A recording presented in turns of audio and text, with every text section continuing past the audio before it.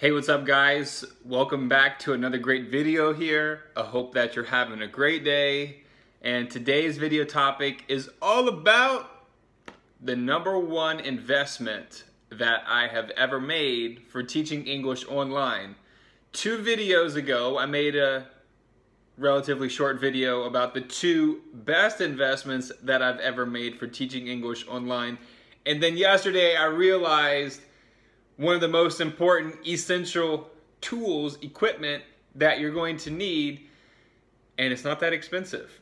So it costs less than $30. So what I'm going to do as lightly as I can, I'm going to take my phone out of the tripod. So this right here is exactly what I use every single day with all of my online English lessons. So before when I first started teaching English online, I was holding the phone in my hand, did never, I never really did have the video on. Sometimes I did, and I can't believe it. It wasn't until December of 2016, early December, late November 2016, that I got one of these things so that way I could keep my phone in one place and not have to hold it. It won't be moving and it just work out a lot better for my student and all the whole experience. So I'm gonna put it back in for right now, but it's really great. You can use it as like a selfie stick. You can use it on a table and all you gotta do is just slide, can't even get it up. See right here? It kind of just slides up so that way you can put it into landscape view or if you want to go on the side, whatever you want. So why is this essential? As I've already mentioned, when you're teaching English online, one of the most annoying things is, or when you're doing video with someone, is the it's constantly moving. It starts to make you kind of dizzy. Some people are very motion motion sickness. So I'll even have sometimes some students um, they're moving the camera all over the place, and my patience is low. And I'll just say, "Hey, stop moving the phone. Find a place. Sit down, please." So if we as the teachers might feel frustrated from that experience with one of the students, um, which can happen, is going to happen. You'll have times like that. Not everyone has something to keep the iPad still or the iPhone still, and many times you might have a student in the car coming from, you know, leaving one lesson and then going home to eat dinner or they might even be at a restaurant. I've had many classes like that and they're pretty cool too because, you know, diversity and the diversity of the geography the geographic location of where the student is is always nice, you know. Just like when I have a new background, immediately the student is like, hey, where are you at, teacher? Because they're so used to what's going on behind me typically.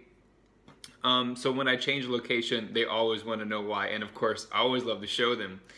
So anyway, the tripod is going to be a huge help. It's not that expensive. So if you have your light, the LED light, if you have the tripod, and if you have all those things lined up, and a good place to sit, you're going to be doing really well long term as an online English teacher. I want to say thank you to everyone who's been leaving questions. I've been trying my best to get back to everyone as quick as possible.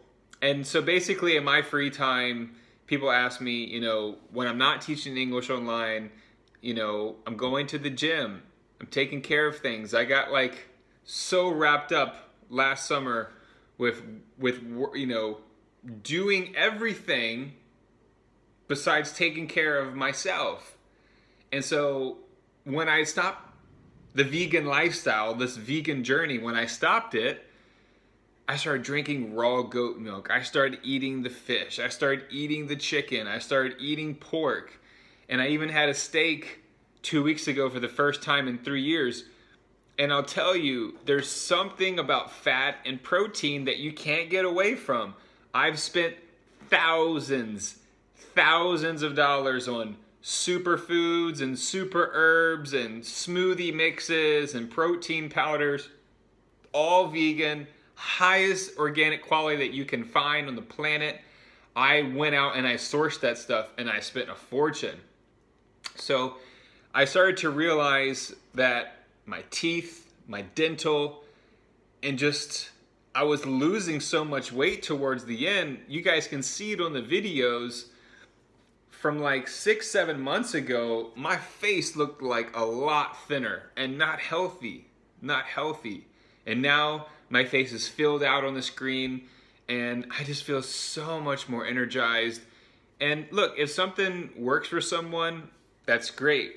But not everything is for everybody.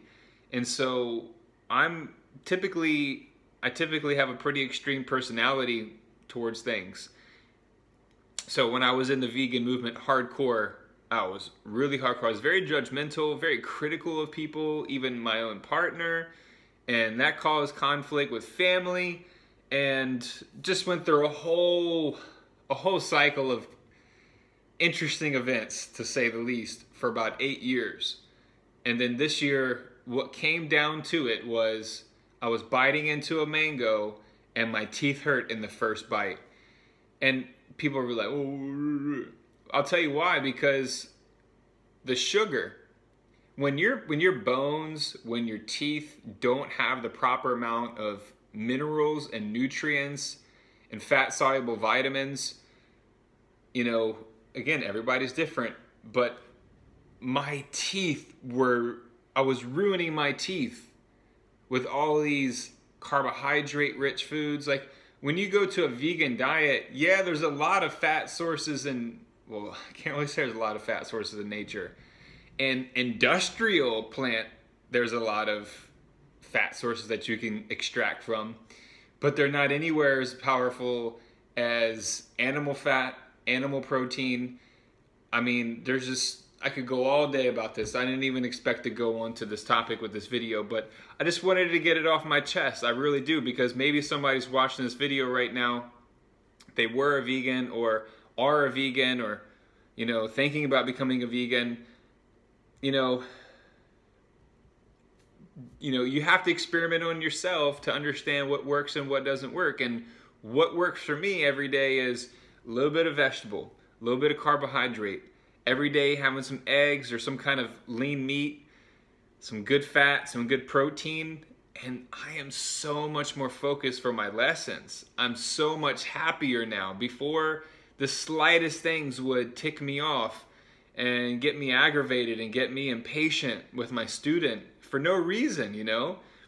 And now I realize my stress levels are way down I realize my my energy, as I mentioned, my happiness, as I've mentioned, everything just seems seems to be doing so wonderfully in my life, and then that that goes in to my lessons and to my teaching, you know, and as I mentioned in the last video, I'm getting a lot more requests for bookings. It happened again today. Moms and dads say they want a full hour with me because they don't know when the next time they'll be able to have a lesson for their child with me. So it's like, there's something going on, you know, and I believe that omega-3 fatty oils, there's stuff about fats and proteins that that deal with your hormones and your metabolism and all this stuff.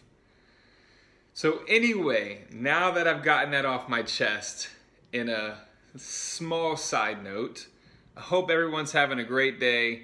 If you have any questions, please let me know below. I just wanted to get a quick video out show you guys something that will really help you with your online English teaching success and that's getting a tripod so that your phone, your iPad, or whatever device that you're using will stay still. Wow, life is amazing, that is for sure.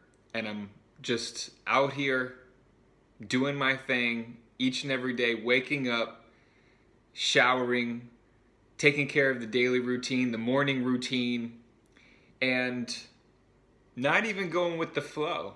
I'm just rolling towards my destiny. I'm rolling towards the next day because that's all we can do. I just renewed my contract here at the condo for another four months and then I'm going to be moving. So the countdown is on. In four months, I'll be out of here, you know? And it's kind of, I can't really believe it because this has been my life. I mean, I was traveling and teaching just country to country, moving around. Didn't really have a solid base anywhere, didn't really have a general understanding of what I wanted to do.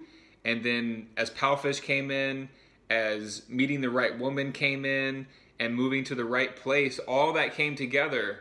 And this has been the product of all of the hard work, all of the determination, and just the the relentlessness, you know, the persistence to take everything that's happened to me since I went down some dark paths and then to flip that on its side and work through it and see the true purpose in those challenges and those tests of time and then to be here right now and God willing have my house next year, have my own home gym next year, things like that.